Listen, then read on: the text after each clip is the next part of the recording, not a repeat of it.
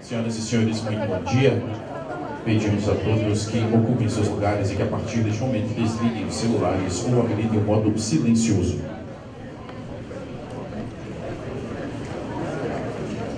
Frente. Frente.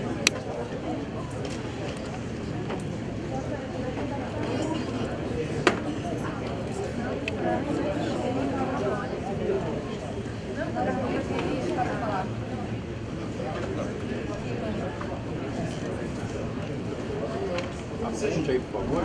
Vamos fazer eles pegar. Obrigadão. Obrigadão.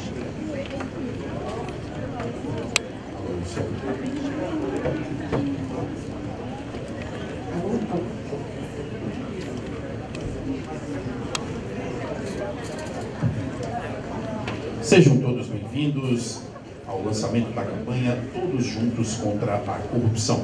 Para compor a mesa de honra, convidamos os excelentíssimos senhores. O presidente do Conselho Nacional do Ministério Público, Rodrigo Jamão Monteiro de Barros.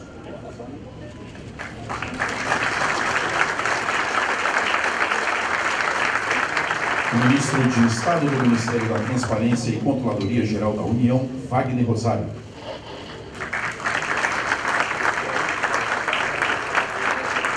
O secretário da Receita Federal do Brasil, Jorge Rachid. O Controlador-Geral do Distrito Federal, Henrique Ziller. E o representante no Brasil da Transparência Internacional, Fabiano Angel.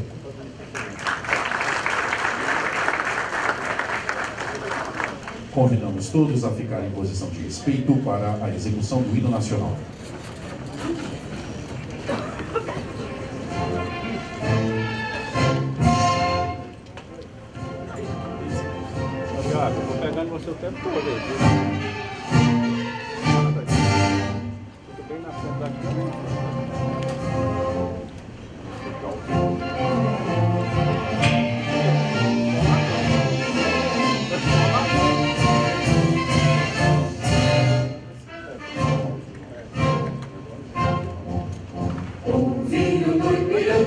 Отец спаси.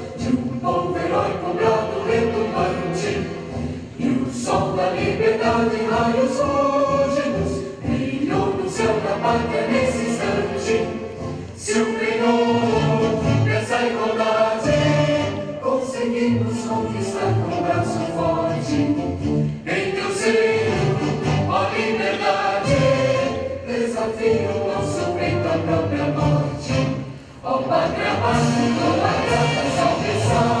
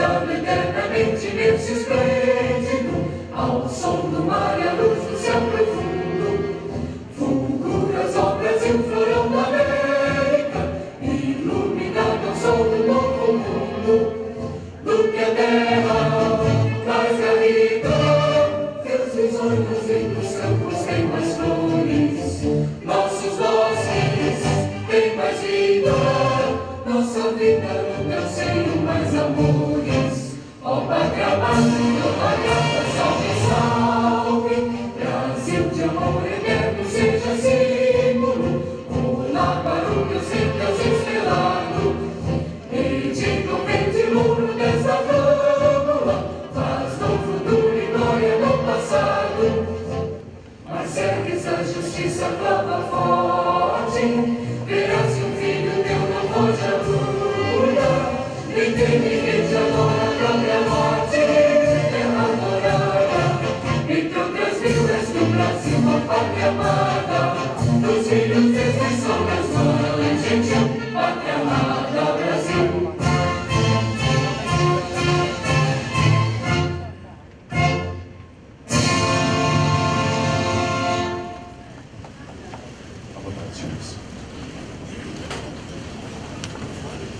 campanha Todos Juntos contra a Corrupção foi idealizada e executada pela Ação 6 de 2017 da Estratégia Nacional de Combate à Corrupção e Lavagem de Dinheiro, ENCA, sob a coordenação do Conselho Nacional do Ministério Público. Tem como objetivo consolidar propostas de prevenção à prática da corrupção, fomentando a integridade social e a educação para a cidadania, e conta com a colaboração dos seguintes órgãos em ordem alfabética.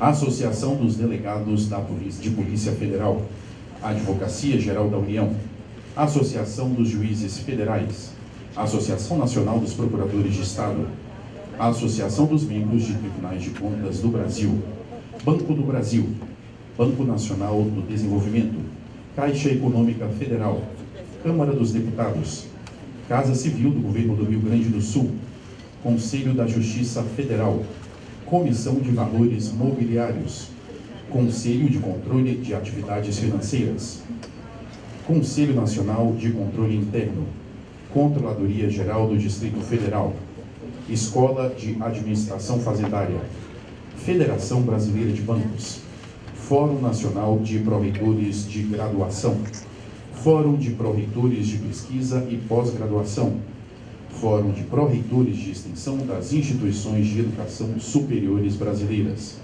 Ministério da Defesa, Ministério da Transparência e Controladoria Geral da União, Ministério Público Federal, Ministério Público do Estado do Maranhão, Ministério Público do Estado de Pernambuco, Ministério Público do Estado do Piauí, Ministério Público do Trabalho, Observatório Social do Brasil, Receita Federal do Brasil e Tribunal de Contas da União.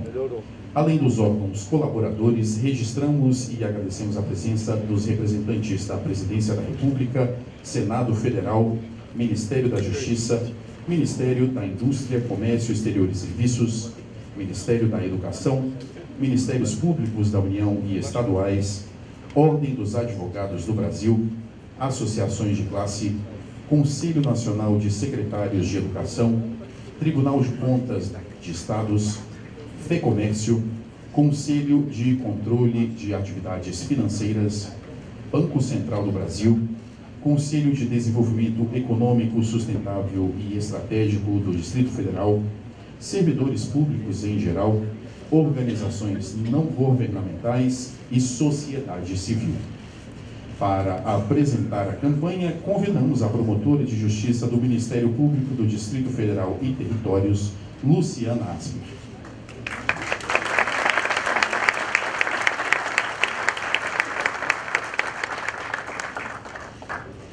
Senhores e senhoras, muito bom dia.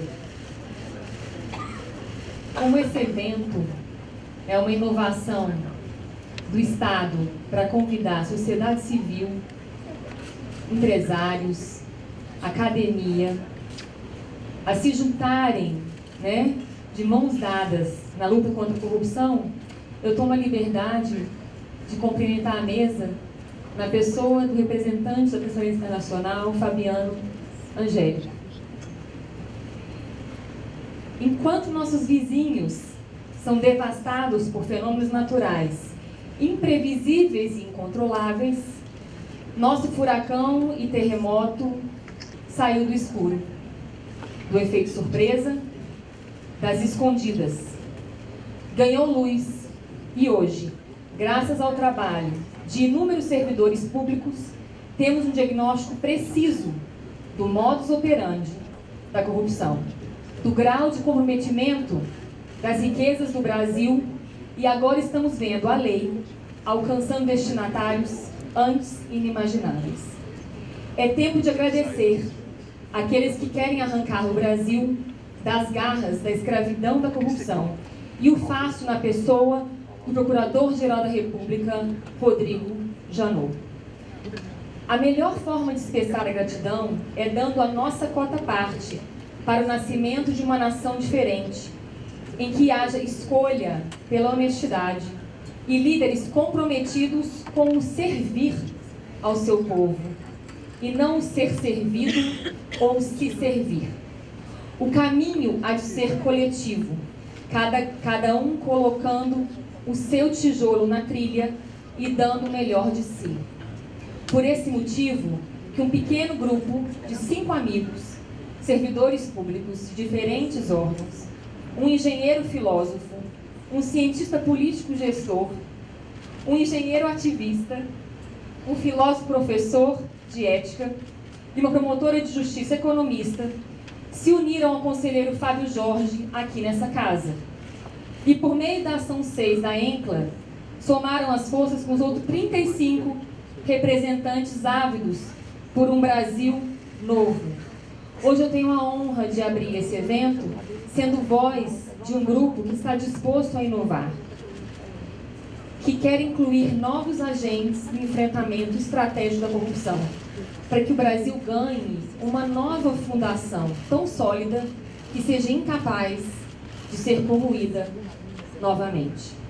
Embora a endemia da corrupção possa ter, ter chegado a solos brasileiros de navio, aqui ela foi historicamente alimentada e aperfeiçoada graças às nossas próprias escolhas. Ao assumirmos essa responsabilidade, o abismo criado entre a miséria imposta ao nosso povo e a prosperidade para o qual o Brasil foi predestinado pode ser igualmente superado por escolhas inovadoras que estivermos dispostos a fazer. O caminho é inspirado pela Convenção de Mérida, firmada pelo Brasil em 2005, com o compromisso de fomentar a participação ativa de pessoas e grupos que não pertençam ao setor público, para unidos e organizados assumirem o seu papel na prevenção e na luta contra a corrupção.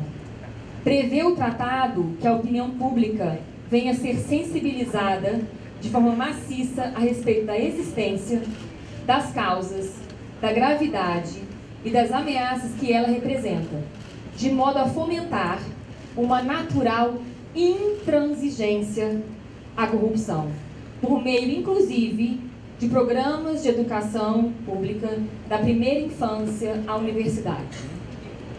Se fôssemos médicos, cuidando de uma endemia nacional, jamais dispensaríamos pesquisas de imunização da doença. Aliás, certamente essa seria a nossa prioridade, já que tão pouco resta quando os recursos que já foram saqueados e o paciente chega na UTI. No combate à corrupção, temos esquecido de investir na prevenção da doença, na imunização dos agentes públicos e privados. É o que, embora seja comum há anos, relacionar o jeitinho brasileiro, o feudalismo, o patrimonialismo, o coronelismo e o clientelismo histórico com as relações promíscuas e corriqueiras de troca de favores na gestão pública, sabemos que a prática cultural nunca é uma imposição, mas algo que se pode romper. Ninguém nasce corrupto ou honesto. Isso se aprende por experimentação. Deixamos o sistema de formação de nossos cidadãos, às vezes, andar à deriva de um ecossistema que frequentemente leva a uma flexibilização de regras, aqui e outra ali, até que os freios morais de muitos vão se perdendo. No Brasil de hoje, pais dizem que não formam mais os seus filhos para serem honestos e cumpridores de seus deveres e obrigações. Não, eles dizem que querem formar seus filhos para serem espertos e sonegadores. Até porque nem esses pais há algum tempo recebem estímulos para considerar vantajosa a honestidade no Brasil. As escolas, por sua vez, é, em regra, deixam, deixam de preparar seu aluno para o apreço pela honestidade, de educá-lo para o cumprimento de regras e deveres, porque justificam que isso deve, deveria ser feito pelos pais. Então, quando os pais não fazem, as escolas também não. E em todos os lugares estamos ensinando especialidades do atalho e do quebrar regras, é possível concluirmos que seria realmente utópico pensarmos em gestores públicos ou privados imunes à corrupção. Capazes de escolher a honestidade não por medo da pena, mas porque aquela não seria uma opção por seu caráter. A formação desses futuros gestores que sonhamos está em nossas mãos. De onde virão os candidatos reformadores de leis anticorrupção? De onde virão os gestores que priorizarão mudanças institucionais necessárias para uma gestão pública que verdadeiramente zela pelo recurso público e eficiência do Estado? Eles precisam ser formados, gestados por aqui mesmo, em nossas escolas, universidades e organizações. E é possível formar caráter em todas as idades, desde que as motivações, incentivos e estratégias sejam adequadas a cada público e situação.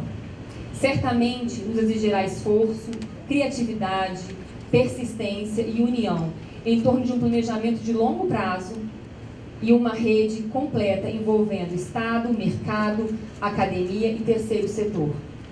Mas nenhum esforço teria um custo-benefício tão vantajoso e uma estratégia tão descomplicada, se compararmos, por exemplo, aos recursos investidos no fim da linha do combate à corrupção, quando tentamos decifrar, encontrar e recuperar recursos desaparecidos em sucessivas operações de lavagem de dinheiro.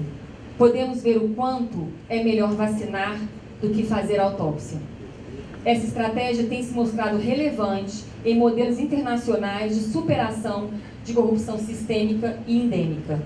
Desejamos uma nação abundantemente povoada por cidadãos que respeitem as regras e ao próximo, que tenham uma mente renovada para um compromisso com a honestidade, sejam firmes para resistir às práticas corruptas e sejam responsáveis individual, coletivamente e com as gerações futuras, que zelem pela justiça e que participem ativamente e fiscalizem o funcionamento do Estado. Fica o convite a cada um dos presentes para dar as mãos às 35 entidades que já fazem formalmente parte da Ação 6 da ENCLA na divulgação e ampliação da campanha que vamos apresentar e para fomentar o desenvolvimento de programas educacionais com foco na prevenção primária. Passo em seguida a minha fala para os amigos Jailton Almeida e Luiz Fernando Roriz, com essa imagem da bandeira do Brasil, para que ele fique como símbolo do que estamos buscando hoje. Nas cores, ela traduz a esperança de um novo tempo. O verde como marca do amplo solo fértil e da diversidade natural incomparável, e nos remete ao fato de que, da área mundial, que ainda pode ser plantada para a produção de alimentos, 40% está no Brasil, mesmo que a Amazônia seja 100% preservada. O amarelo nos retrata as reservas minerais riquíssimas, empresas públicas e privadas com potenciais gigantescos. O azul traduz os mares, os rios, o potencial turístico. E as estrelas podem simbolizar a nossa capacidade criativa. E a inscrição Ordem e Progresso, que temos de forma abreviada o lema: o amor por princípio, a ordem por base e o progresso por fim.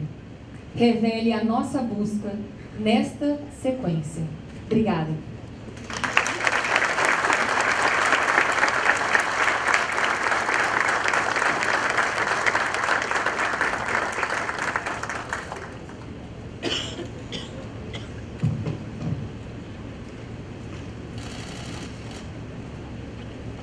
dia a todos. Saúde à mesa na pessoa do Procurador-Geral Rodrigo Janot, do Ministro Wagner da CGU, que tem nos ajudado muito, e de todos os colaboradores da Ação 6, que trabalharam todo esse ano, na verdade, desde a plenária da ENCLA, é, em dezembro de do, do ano passado, e esse ano em várias reuniões para elaborar esse trabalho que nós vamos apresentar agora.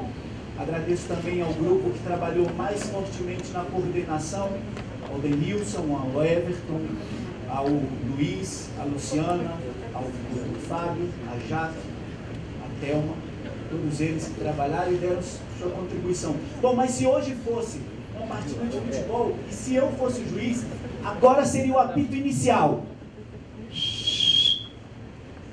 Começou. Nada disso é uma conquista, é o início. Porque a conquista do combate à corrupção começa com a nossa atitude de já decidir fazer algo. Então, temos um só objetivo hoje: reunindo toda a imprensa, reunindo tanta gente, reunindo autoridades. E esse objetivo é muito simples. Comecem, façam, não esperem.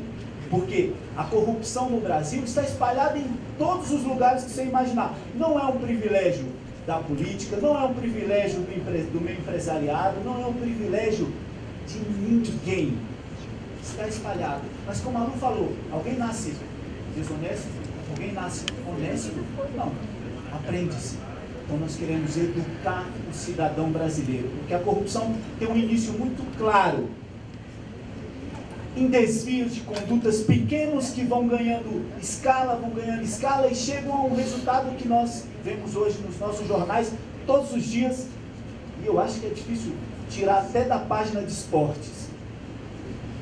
E é isso que a gente quer acabar. E como nós vamos fazer isso? Com prevenção primária, atacando na raiz. E a prevenção primária trabalha valores. E valores é, é uma. Desculpa. É, é, as imagens passarem tão rápidas, mas é porque nós precisamos exaurir a explicação do projeto. Então, nós temos valores, e valores, eles são intangíveis, você, são como as cores, e por isso esse desenho bacana aí, porque se você me pedir, me mostra o vermelho, me dá o vermelho na minha mão, eu não posso pegar, me mostra o azul, o amarelo, eu não consigo tocar.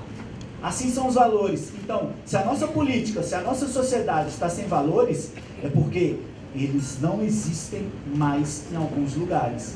E nós precisamos fomentar a existência dos valores onde eles não estão e dos bons valores. Então isso não é filosofia, isso não é reflexão é, moralista, isso é prática.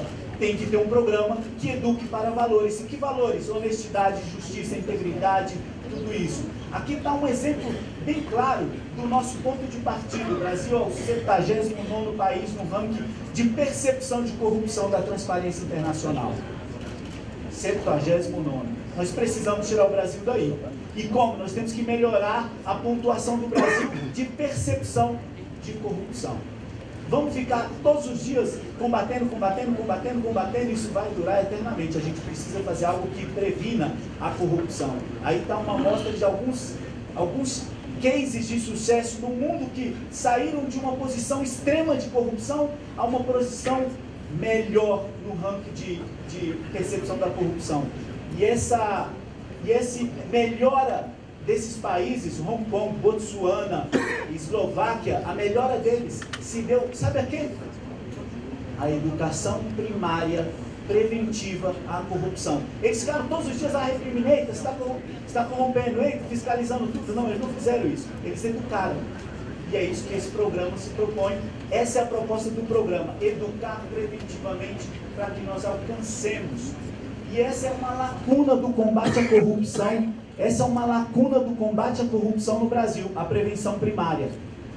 Prevenir primariamente foi algo que nós nunca fizemos com tanto afinco tem uma ou outra ação. Nós queremos congregar todos esses vetores, todas essas estratégias, todos esses programas que existem no Brasil afora de prevenção primária à corrupção e o que seria educar para a cidadania, educar para os valores e colocá-los num programa que nós chamamos Programa Nacional de Prevenção Primária à Corrupção, que nós estamos lançando hoje. Esse programa tem três pilares e o primeiro pilar é a campanha Todos Juntos contra a Corrupção. E essa campanha, o Luiz, que eu vou convidar agora, vai explicar. A campanha, ela se propõe a uma coisa: a tirar o debate da corrupção das mesas de bares do Brasil, das rodas de amigos e levá-la para um lugar qualificado, onde a gente possa discutir esse problema seriamente, tirar boas propostas, boas ideias de combate, de prevenção primária à corrupção. Luiz, queria te convidar para explicar a campanha Todos Juntos contra a Corrupção.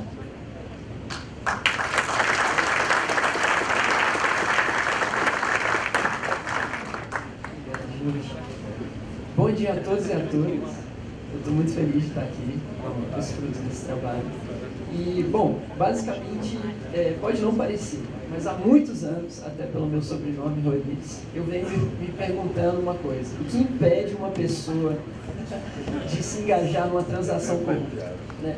Qual incentivo pode ser maior do que o incentivo pecuniário e uma responsabilização a desejar? Né? a gente tenta equacionar isso na linha de muitos professores, é, melhorar o sistema de integridade nacional, é, aumentar o controle social, é, aumentar a responsabilização, no caso a repressão, a descoberta da transação oculta, da transação corrupta, é, criar um sistema institucional capaz é, de diminuir né, as barreiras, de aumentar as barreiras de entrada à transação corrupta, né? E em qualquer dos conceitos de corrupção, a gente vai ver que não basta isso, porque todos os conceitos de corrupção fazem referência a uma coisa. Corrupção é um problema de ação humana. E a ação humana, ela é referente e ela é influenciada por valores e crenças. Né? A gente tem isso explicado pelos é, teóricos da, de diversas teorias, da, do rent-seeking, da, da teoria do principal agente, é, a própria psicologia na teoria da socialização, a limitação da racionalidade. O fato é, as nossas experiências importam, a, a nossa formação importa, os nossos valores